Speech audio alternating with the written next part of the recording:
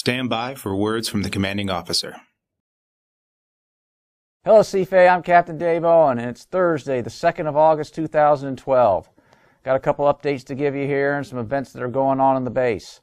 First thing I have to talk about, not a good thing, unfortunately. We got another DUI over the last weekend.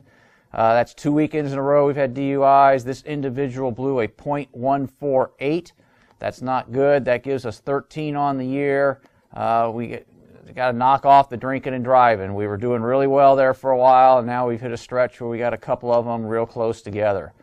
Also, I got to remind everybody, you know, don't talk while uh, on cell phones while you're driving. We had an individual talking on a cell phone over the weekend, ran into a tree. Fortunately, it was a tree and not a human being, but he hit this thing hard enough. If it had been a human being, there's no doubt in my mind it would have not only seriously injured him, it could have killed him. So let's not be talking on the cell phones or texting while we're operating motor vehicles. Let's not be driving and drinking. This morning, not once, but twice, I nearly got run over in crosswalks. I mean, the vehicles, make sure you're paying attention to the vehicles. If I hadn't been paying attention and slowed down in the crosswalk, I would have gotten wiped out this morning myself because uh, the vehicles are uh, not paying attention, unfortunately, and uh, people operating these motor vehicles need to realize they're actually operating a uh, dangerous weapon if they uh, do, do, not do it properly. So uh, let's be more attentive while we're driving our vehicles here on the installation. the ignorant oil was flowing more than just behind the wheels of the car the weekend. We had a couple of drunken disorderlies. that's not a good thing either. that gives us a bad reputation with the local community, especially when it happens off base. So uh, if you're going to indulge in, in, alcoholic beverages, please do it responsibly. Let's not have a bunch more of these uh, drunken disorderly incidents. It is getting really, really hot out there. Uh, you can tell that easily. A lot of uh, humidity, lots of sunshine. Uh, make sure you're using sunscreen if you're out there and prone to burn. Make sure you hydrate. Uh, they recommend anywhere from 8 to 10 glasses a day. So please, let's not have heat casualties. We had a couple heat exhaustions last week. So uh, let, get yourselves hydrated and uh, be smart out there. Effective yesterday on August 1st, we changed the policy at the pedestrian gates, with the exception of the main entrance at Kearney, because that's the uh, command's quarterdeck. Uh, all the other places at Daiei Gate, down at Womble Gate, and the other pedestrian gate down at uh, Kearney, uh, we're relaxing the restriction on you have to uh, remove your headgear when you come through those gates for identification. Uh, the security members are only going to ask you to remove your headgear or your glasses if uh, they're covering up so much of your face that they cannot make a positive identification on you. We're going to give this a try. Uh, there's a couple of reasons for doing that. One of them is we, we found out when bicyclists come through the uh, pedestrian gates and they take off their helmets, after they go to put the helmets back on, they tend not to strap them on the way all the way on and things of this nature. So hopefully we can uh, correct that with with this. But uh, we're going to give this a try and see how it goes and uh, go on from there. This Saturday, August 4th, that's the big day of our uh, open base event, the Friendship Festival. Uh, the gates will open at 10 a.m. and it'll run from 10 a.m. to 2100. Lots of events going on. There's going to be some rock bands. There's going to be a car show. There's going to be a bodybuilding contest. And the city's going to be shooting off fireworks, approximately 4,000 of them. So, uh, going to be a big fireworks display that night. You should be able to see them from the base. I watched them from Berkey Field last year. So, uh, going to be a good time. Uh, we're expecting anywhere from 35 to 50,000 people to come on the base that day. Uh, all there'll be lots of vendors. You'll see a lot of pizzas leaving, but uh, going to be a real busy day here on Saturday, and so uh, be prepared for that. We got 3D movies coming um, in the fleet, in all our, theaters. Fleet, Benny Decker up at Negishi. And the first day that we show the 3D movies, they will be free. So on Fleet Theater, that'll be on 9 August. On Benny Decker, that'll be 11 August. And for Negishi, that'll be 17 August. So on those days, at those theaters, the new 3D movies will be free. So that's a pretty good deal there.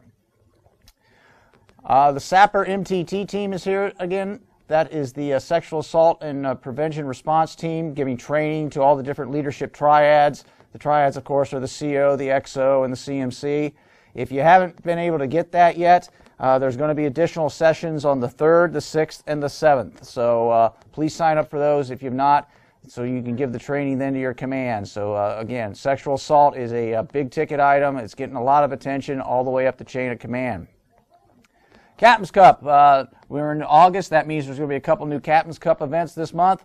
Uh, there's going to be a track and field event, and there's going to be dodgeball. So uh, if you're into dodgeball and maybe there's somebody on the other team you want to nail between the eyes, this is your opportunity to do it and get away with it.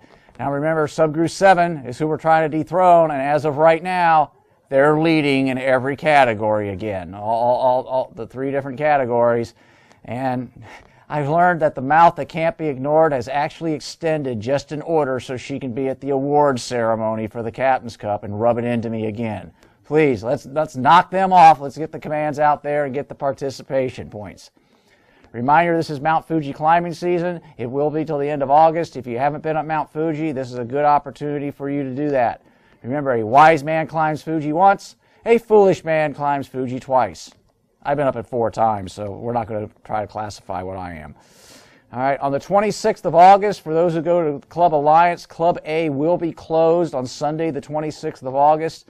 This is due to maintenance that has to be done. So uh, on that, it'll be open next. It'll be open the following day right away. But uh, on the 26th of August, Club Alliance will not be open. On to some trivia now. For my last show, uh, one one of the sports questions I ask is uh, who were before the uh, the team became the Nationals. What was the team before they became the Washington Nationals? The answer to that was the Montreal Expos, and that answer came to me from Kathy Adams Bomar. Uh, the song I was looking for was Eat It by Weird Al Yankovic. Uh, and Francis Simpson's daughter gave me that answer. That's how it was classified. Uh, Francis Simpson's daughter. And the movie I was looking for was King Kong. All right, and was, I got the movie for King Kong there.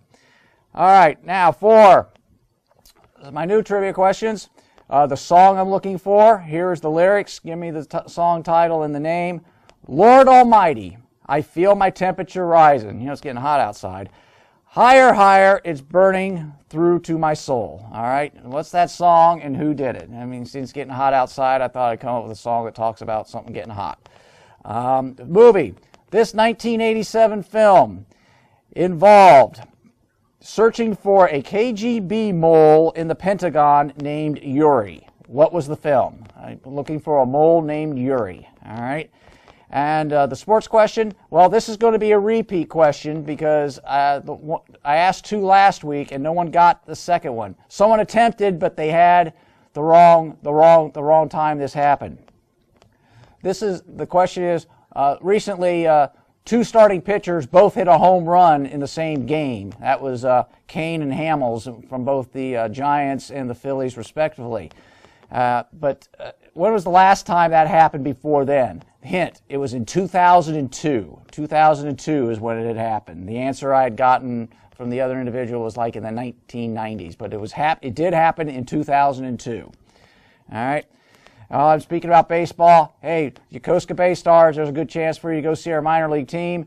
Uh, they don't have any games this weekend, but they got some coming up the following weekend. Uh, CFAY went to the game yesterday. It was pretty cool. The uh, Bay Stars came out victor- victorious 9 to 5. So uh, you can go see some pretty good baseball there over in Oppama at Yokosuka Stadium if you so desire. As always, CFAY, good shipmates don't let shipmates drink and drive. Good shipmates don't let shipmates do drugs. And good shipmates don't let shipmates get sexually assaulted. Have a great weekend, CFAY.